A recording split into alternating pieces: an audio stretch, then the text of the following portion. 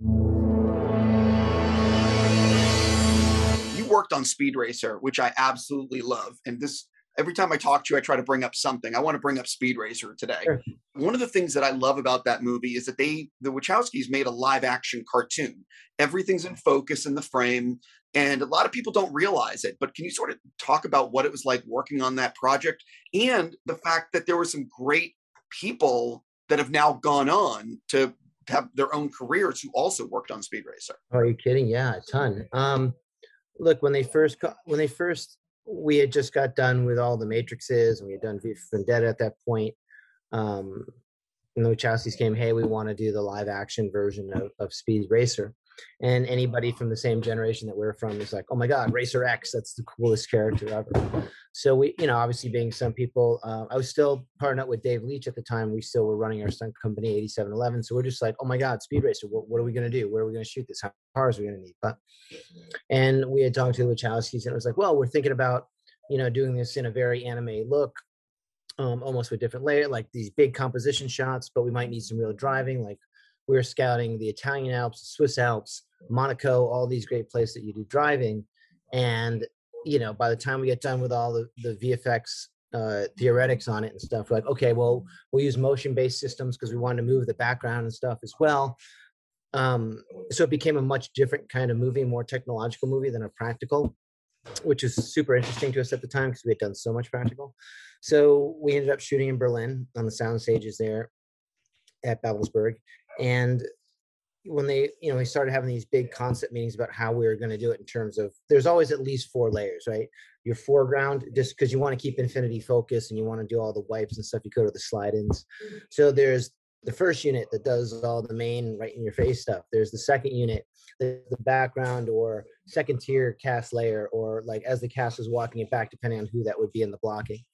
Third tier would be you know, the dog, the chimpanzee, the animals, all the action stuff. And then they'd put in the fourth layer, which is the VFX, blue screen, environmental stuff. So four layers, four different versions of comps, depending on where the cast would go, who was in what layer, four different directors to handle it all. And, you know, an amazing VFX department from John Gaeta and Dan Glass that would put it all together. And, you know, you first hear that and you're like what i'm sorry play that back? What what what are you talking about? He's like well we're going to shoot each scene three or four times in different layers and we're going to stick them together. We're like yeah okay. But then we get there and we start doing the process. I think i learned more you know having come from second unit you deal with a lot with vfx you know it's not just stunts you have to learn how to composite put things together how to use blue screens effectively and really what what um, you know how to run a plate unit just really how to stitch movies together from the vfx and practical side. And what i had learned up to that point was pretty significant. We were fortunate enough to work on some very big budget and very large productions that used enhanced vfx in the combination with practical.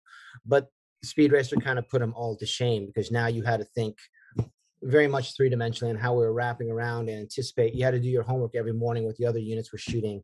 We'd meet with the Wachowskis, they'd give the goals, they'd have to block it, and then we'd be reactionary to what they wanted. Then we have to go back two or three times to get it right. It was just, uh, I, I think some people would have thought it arduous and tedious, but we were just, oh my God, every day is a challenge to try and it's like a puzzle. Every day you walked into the roof cube and you're like, okay, what do we have to do? So after a couple months of that, I, I, don't know, it was one of the most challenging things we got to do, and it was one of the most, I guess, experiential things. I mean, we're learning every day, and you know, sometimes movie making can be a little tedious. You know, wide shot, medium shot. Hopefully, you don't think that, but some do. This was every day was like, okay, I'm gonna have to relearn how to do this, and you walk away after that, and then you see it all come together, which is an entirely new experience when you see editorial and VFX put it together uh, again, I think you can interview Dave the same way, and it was just a massive, massive learning curve, which helps benefit today because now you can actually, you know, one of the things one of my mentors always say, said to me, if you want to be a good director, you have to speak several languages, and they don't mean cultural languages. They meant you have to speak art design, you have to speak production design, you have to speak cinematography, you have to speak, you know, acting, you have to speak lighting, you have to speak prompts. You you have to speak. It can't just go, give me my vision. That doesn't do you do you it to other people in your head you see a tree but when you say i want a tree there's a million types of trees everyone's got a different one in their head you know if a stunt guy comes to you and goes hey what do you think of this shot they're not asking what you think of the comp they're asking you you know, what do I need? Do I need a stunt double? Is it going to be wire work? How are we going to cut this? So I like, you know, when a wardrobe person goes, you know, blue, they're like, okay, is that going to kick? You have to speak their language, and that's how you become a more efficient leader. What we learn on Speed Racer is to speak a very high, highbrow kind of VFX, compositing, and filmmaking, which today, literally on every Wick I do or every other project I produce on, allows me to be a little bit better of a director and a filmmaker. So thank you to Speed Racer. I don't think I've ever learned as much in such a short period of time. Uh, thank you for sharing that story. I love that movie, and um, I, you. you. know, it's just it's just such a great film.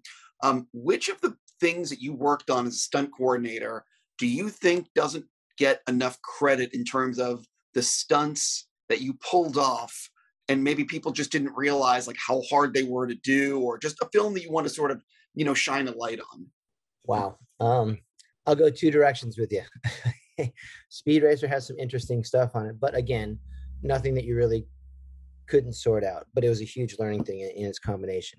I, I go back to like you'll laugh, but I go back to like the first Expendables that I got to do with Stallone and, and Statham and the guys. Look, we that was Jason Statham in the front of that that C47, you know, over Mangaratiba. Like we were not goofing around. That was real naphthalene. That was real diesel fuel. Those were real fire burns. Like every gag in that movie, no matter how whack you think it is, is a practical gag. There's slight CG enhancement on some of the the M60 rounds and all that stuff, but like the, that's those are real big mortar blasts. That's probably the last big old school stunt we've ever done. Like you have to go back and really, I mean, they did digital enhancement to cut the guys in half with the big gun.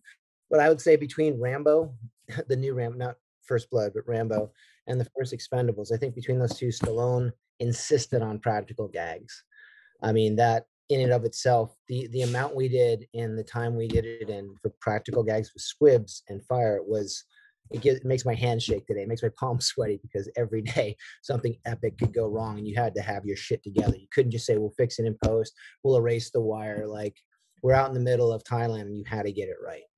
And that was, you know, you know, 11 stunt teams from all over the world doing that was impressive.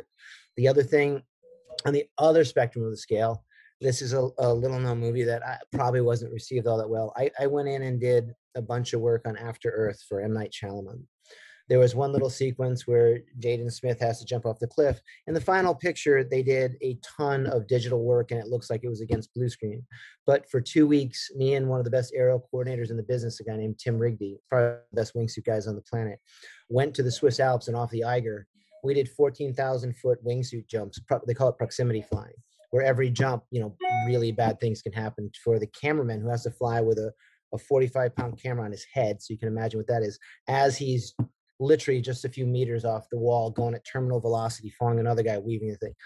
To this day, it is the most. I even get choked up thinking about it. It's the most hair raising. Most you're on the ground just going, please don't die, please don't. Die. Like you've hired the best in the world, but once they leave that helicopter at fourteen thousand feet, they come into about twelve thousand feet where they have to link up against the Eiger and go down and follow each other through some of the most insane weather conditions that the Swiss Alps can offer. And when you finally see those two parachutes open, there is no describing the amount of relief of like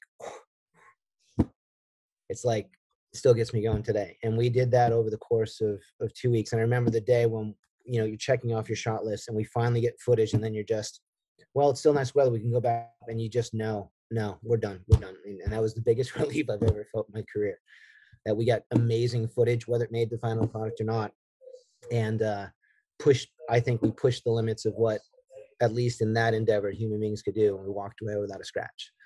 And that is one of my proudest moments. So I, would go with those two. Both great stories, and uh, yeah, I, I, could never, I could never do these things. Just never, never. Yeah, I, I don't know if I'd do them again. I'm glad I did them, but I, I'm good. We rolled the dice, we pushed, and the universe didn't push back, so we're good.